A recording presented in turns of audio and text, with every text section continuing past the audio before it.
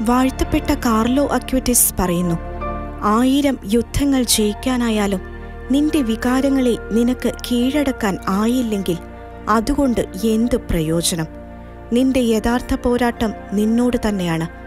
നാം ആയിരിക്കുന്ന ഈ കാലഘട്ടത്തിൽ ജീവിച്ച് നൂതന സാങ്കേതിക വിദ്യകളിലൂടെ ദിവ്യകാരുണ്യ ഭക്തി പ്രചരിപ്പിച്ച് കൗമാര ദിശയിൽ തന്നെ ലോകത്തോട് വിട പറഞ്ഞ് സഭയുടെ പുണ്യ ആരാമത്തിൽ ഇടം നേടിയ കാർലോ ജീവിച്ചു കാണിച്ച മാതൃക.